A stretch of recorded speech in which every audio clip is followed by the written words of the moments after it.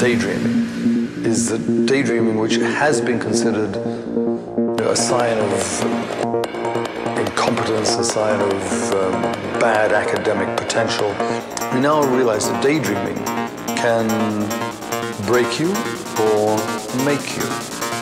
The great geniuses did something different. They daydreamed big.